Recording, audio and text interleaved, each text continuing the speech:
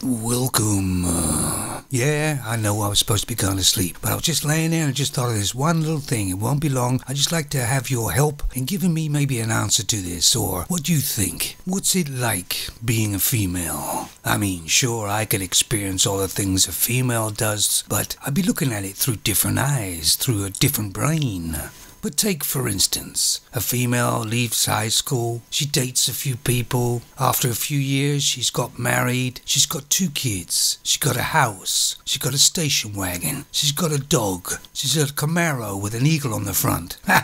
well, you know what I mean. So, to all intents and purposes, she has a life. But more often than not, she's got to that position through lies, deceit, and manipulation. She probably hasn't earned to be there in the traditional sense. For me, it would be an empty victory. It's like she's got all that, but it's all just really fake. And I guess that's why females can just up and leave or finish with the person like that because she hasn't really earned to get there. It'd be like me going out with the guys for drinks and drinking a beer that looks like a beer, that tastes like a beer, but there's just no alcohol in it. So how do you think these females justify where they are?